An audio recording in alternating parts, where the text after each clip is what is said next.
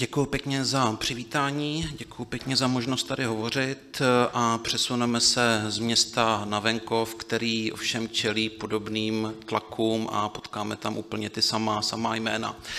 Eh, já jsem si napsal takový projev asi na 25 minut, tak se to pokusím skočit, abychom moc, moc eh, neto eh, nezacházeli s časem a nebránili diskuzi. Každopádně úvodem řeknu, že problematika zemědělství, zpracování potravin, jejich distribuce se dlouhodobě koncentruje do rukou několika málo vlastníků, které jsou propojeny s politiky. Jo, budeme, budeme jmenovat. Zároveň ten systém nastavení veřejných dotací a regulačních institucí jde tomuhle tomu systému na ruku, zatímco efektivní podpora alternativního potravinového systému, který by byl založen na lokální produkci, lokálním zpracováním a místním odbytu, zoufale chybí. Důsledkem jsou potom zisky stále rostoucích oligarchů, vysoké ceny potravin pro konečné spotřebitele, pro všechny z nás a v podstatě pronajatá krajina, která slouží jako výrobní hala pro produkci levných komodit, která nedokáže poskytovat ani kvalitní pracovní místa, ani dostatek podnikatelských příležitostí, natož ekosystémové služby v oblasti, řekněme, adaptace na klimatickou změnu a e, potřebnou pestrost a biodiverzitu. Já budu mluvit z pohledu zemědělského konzultanta, který se v tom prostředí pohybuje nějakých šest let a zároveň, aby to nebyla jenom kritika toho systému, tak z pohledu pohledu, z pohledu zeleného politika chci poukázat na nezbytné prvky reformy, která musí postihnout celý tenhle ten systém, celou tuhle tu vertikálu, jak se říká. Eh, prezentaci nemám, eh, možná poprosím eh, spolupráci publika, ještě jsem to nedělal, vždycky jsem to nesnášel, když mě někdo nutil, abych, abych se zapojoval do prezentací řečníků. Každopádně, jestli můžu poprosit, je tady někdo, kdo vlastní nebo spoluvlastní nějakou zemědělskou půdu? Ať se přihlásí. Dobře, patříte zhruba mezi 3 miliony obyvatel této, této republiky. Je tady někdo aktivní zemědělec? Děkuji, Katko. Jedna z 30 tisíc zemědělských podnikatelů. Uh, nevím, jestli se mám ptát, ale je tady někdo, kdo vlastní závod na zpracování masa v obilí Velký Mlejn nebo distribuční řetězec? Není tomu tak a teď bychom si měli přihlásit všichni, protože všichni jsme spotřebitelé a všichni ty potraviny si kupujeme. Tak to je jednoduchá ilustrace této potravinové vertikály. Zpátky k projevu. Eh, řekl jsem, 3 miliony obyvatel vlastní nějaký kus louky, pole, zahrady, takže v celku převládá poměrně vysoká dekoncentrace pozemkové držby. Tady jsem koukal z ročenky, v roce 22 vychází 6 milionů 371 tisíc 467 takzvaných listů vlastnictví. Eh, nechci tady rozebírat příčiny, bavíme se hlavně o vývoji v druhé polovině 20. století, kdy se ve vztahu k půdě začaly nad vlastnictvím a vlastnickými vztahy převládat vztahy uživatelské. Eh, to znamená jedna kolektivizace, první 20 letka v 50. 60. letech a potom intenzifikace zemědělství a vznik těch velkých eh, zemědělských kolchozů. Po revoluční restituce sice převedly půdu zpátky do soukromého vlastnictví, aspoň ve většině případů, nicméně jeho rozdrobenost trvá a omezená disponibilita majetkem a asymetričnost informací ohledně eh, o něm vlastně přináší vlastníkovi jenom velmi omezený prospekt, takže trh nefunguje dokonale. Teď jsem to řekl pohledem, pohledem jakoby ekonomické vědy. Reálně to vypadá tak, že pokud vlastníte to pole, tak často ani nevíte, kde se nachází, případně někde uprostřed poměrně velkého lánu, takže k němu nemáte přístup, těžko můžete začít hospodařit a je velmi složitý e, změnit to právní nastavení tak, abyste například dali půdu nějakému jinému hospodáři, který hospodaří více podle vašich představ nebo podle vašich požadavků. E, to je, dejme tomu, dědictví socialismu, tedy v podstatě pronajatá krajina. E, zároveň půjdu dál k tomu, co se děje v posledních zhruba 10 až 15 letech, tak i tady půda jako důležité protiinflačně působící aktivum je cílem majetkové koncentrace. To znamená, když vezmu těch posledních 10 let, tak tomu tradičnímu trojlistku vlastníků, to znamená na jedné straně státa, obce, na druhé straně šlechta, na třetí straně církve, začínají pronikat eh, ti podnikatele, které jsme si tady jmenovali a které patří do těch žebříčků nejmajetnějších Čechů.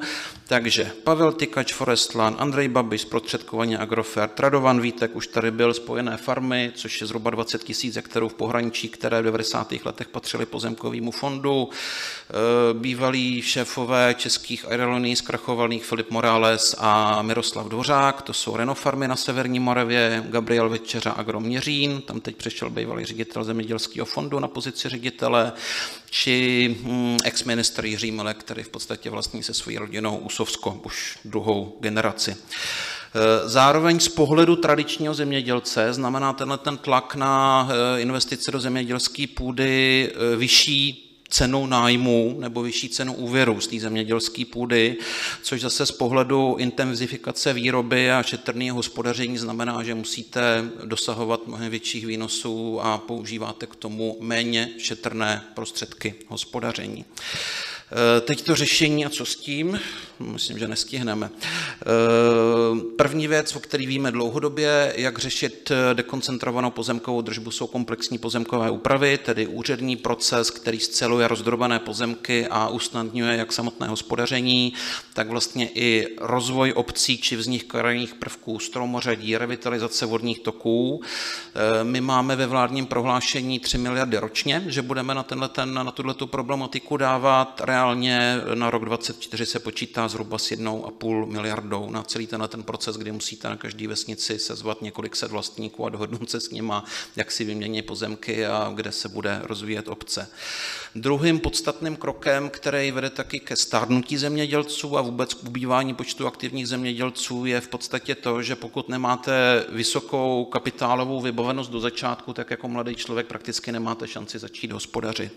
To znamená, my potřebujeme spustit programy dlouhodobého výhodného pronájmu státní a obecní půdy či nevratných v uvozovkách doživotních půjček pro začínající zemědělce, který se jinak půdě, která má ceny vyšší jednotky tisíc tisíc korun na hektar nebo i vyšší desítky tisíc korun eh, na hektar v podstatě nemůžou dostat. Tak, to byly, teď přecházíme volně k zemědělcům.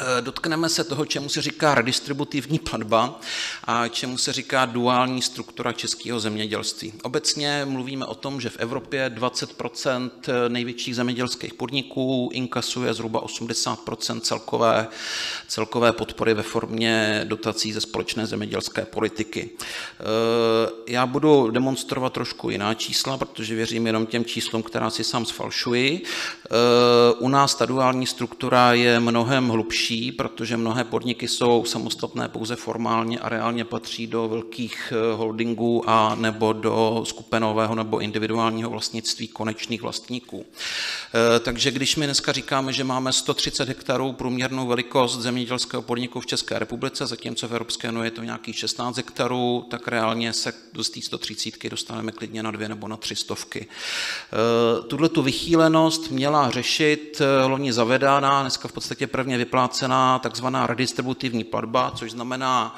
dotační zvýhodnění každého zemědělského podniku na prvních 150 hektarů. Když to řeknu řečí čísel, základní dotace činí nějakých 16 až 17 korun na plochu, ale pokud máte prvních 150 hektarů, ať už jste Andrej Babiš nebo tady kolegyně, tak na ty první hektary dostanete, dostanete 3,5 tisíce korun. Eh, minulý týden pan ministr zemědělství Výborný prohlásil, že úřad, čili státní zemědělský intervenční fond, což je akreditovaná platební agentura Evropské unie, které tyhle ty prostředky přerozděluje, není schopen rozlišit skupinové a koncové vlastnictví těch společností.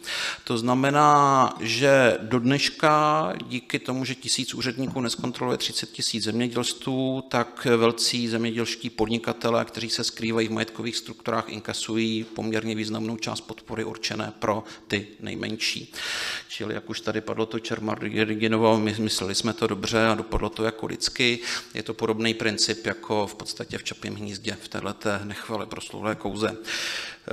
Já když si vezmu jenom firmy, které já mám na starosti v západní polovině České republiky, což je nějaká polovina trhu a omezím to 500 hektarů a více, tak když jsem si včera v noci připravoval, tak jsem zjistil, že tam mám 680 formálně samostatně existujících podniků a přitom, když projdete majetkový vlastnictví, tak zjistíte, že je to zhruba nějakých 400 440 koncových firm.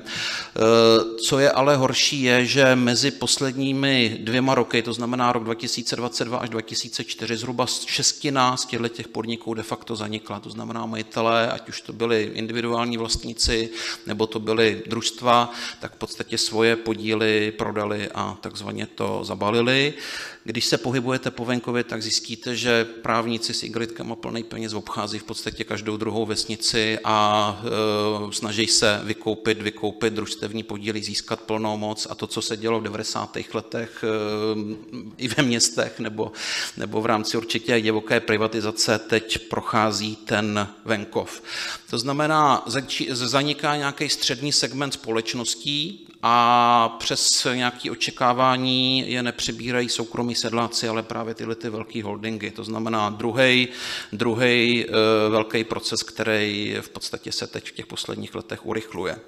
Co s tím? To situace je jednoduchá. Prostě zvládnout buď to takovou metodiku vyškolení vlastních úředníků a nebo zavedení státního registru, který dokáže prokazitelně sledovat majetkovou propojenost firem a současně, což je potřeba taky udělat, ale ta vláda to odmítá, eh, to je zastropování zemědělských dotací na úrovni zhruba na 1 eh, milionu euro na přímých platbách a znemožnění dotací na investice, které ty podniky reálně nepotřebují, protože mají levný bankovní financování. Eh, bez tak jsou tyhle ty dotační zisky používané právě jako forma nákupu těch menších zemědělských podniků.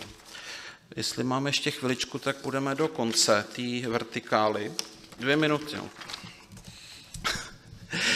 Eh, a to je to, co se řešilo vlastně poměrně intenzivně minulý rok, čili kdo mohl za to, že jsou vysoké ceny potravin, to byly ty nekonečné poledne s Václavem Morevcem, kde se vzájemně obvinovala agrární komora s potravinářskou komorou a se svazem, svazem obchodníků. Eh, u zemědělců platí, že musí do ceny toho svého produktu e, zakomponovat největší množství vstupů, to znamená osiva, hnojiva, nafta, e, skladování. E, tady je nutný podotknout, že sice máme 30 tisíc zemědělských podnikatelů, ale vstupy nebo i skladovací kapacity ovládá v podstatě Agrofert asi z nějakých 40 až 50 takže nemusíte ten sektor vlastnit, ale stačí, když mu omezíte vstup a výstup a máte ho víceméně na, na, eh, na lopatkách.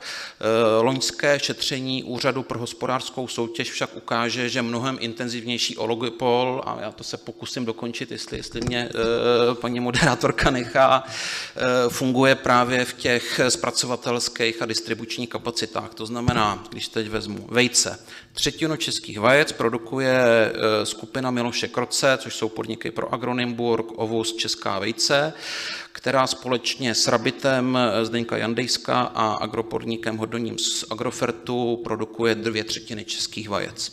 U OHS toto označil za situaci, která není úplně ideální, ale je v pořádku z pohledu hospodářské soutěže a to proto, že zhruba 20 až 30% vajec dovážíme ze zahraničí, tudíž ten obchodník, který by mohl být jakoby znevýhodněn tímto systémem, má alternativu. Jo? To, že toto de facto znemožňuje jakýmukoliv podniku, aby na tenhle ten sektor, který si víceméně diktuje ceny, vstoupil, to už bohužel ten, ten náš antimonopolní úřad neřešil. E, přeskočím mléko, přeskočím drůbeží maso, tady možná připomenu jenom další krásný personální propojení velkopodnikatele Miroslava Tomana, jehož tatínek byl ministrem zemědělství už za, myslím, Štrogolový vlády v 80. letech, tenhle ten se tam dostal za Babiše za sociální demokracii a to byly ty léta, kdy v podstatě veřejná podpora byla poměrně dost významným způsobem ohnutá, takže se pod různýma záminkama jednoduchých, jednoduchých ehm, zlepšení kvality mléka, kvéčka a tak dále financoval provoz těch velkých potravinářských podniků. Ehm, proti těmhle těm řetězcům pak stojí ještě silnější distribuční řetězce, to znamená, když si vezmu Kaufland Lidl, což je jedna skupina, byla Penny, další Albert, další a Tesco, tak tam máme vlastnictví skoro 80% trhu. Eh, já jsem před třema měsícema mluvil s člověkem ze Zemědělského svazu, který má 500 hektarový družstvo mezi Protivínem a Pískem a říkal mi, že má možnost eh, ze zisku z minulých let koupil malou mlíkárnu a zpracovnu sírů, aby byl schopný část té produkce víceméně zrealizovat na místní úrovni, protože ta vesnice je taky čtyřikrát větší a v podstatě družstva a vesnice spolu nekomunikují, protože veškerý mlíko se vyveze do Magety nebo do Goldsteingu.